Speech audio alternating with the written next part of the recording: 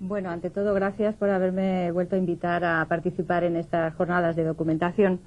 Eh, nuestra exposición va a centrarse en el trabajo de documentación cinematográfica que llevamos a cabo en la Casa de América. Como introducción diremos que la Casa de América es una institución cultural y diplomática fundada en 1992 eh, es una institución consorciada entre el Ministerio de Asuntos Exteriores de España a través de la Secretaría de Estado de Cooperación y para Iberoamérica, la Comunidad de Madrid y el Ayuntamiento de Madrid.